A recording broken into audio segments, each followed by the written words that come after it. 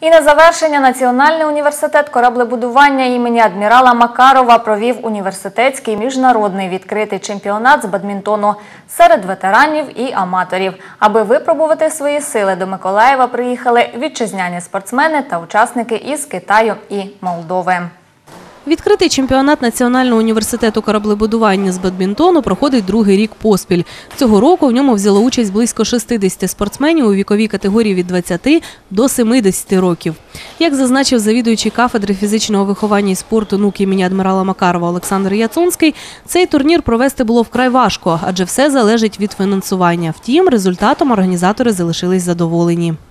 Тут мы, в общем-то, так, как говорится, в пословице собираем с миру по нитке бывших бадминтонистов, бизнесменов, немножко напрягаем, чтобы они помогали. Ну, вроде бы все получается у нас. Хотелось бы, конечно, лучше, но в силу вот этих вот обстоятельств и то, что гнетет сейчас вот эта обстановка в стране, поэтому, ну, тем не менее, мы проводим, и люди довольны, и, в общем-то, приезжают к нам. У нас ректор, э, мастер спорта по бадминтону. А где?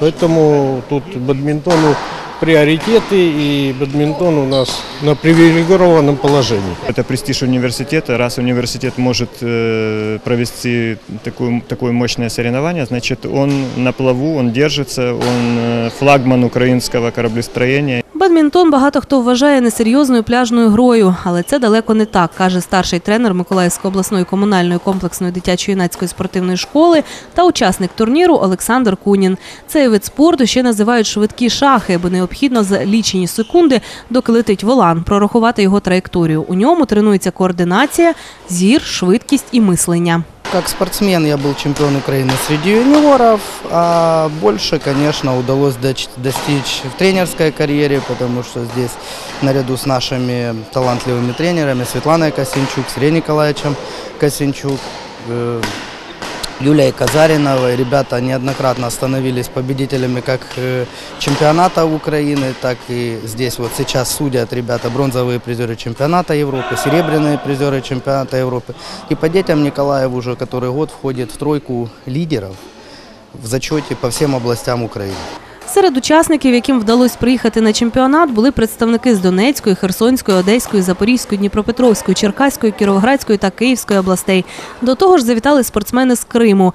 Як зазначила учасниця турніру з Севастополя Ірина Попова, добиратися було складно, але не приїхати не могла. У нас очень давние связи с Николаевым. Я очень люблю ребят, э, которые здесь живут и которые культивируют этот вид спорта. Ну, в общем, ветераны просто мои друзья Хорошие. Слава благодарности, естественно, им. И я просто очень давно вот, в ветеранском, скажем так, спорте, и у нас своя тусовка.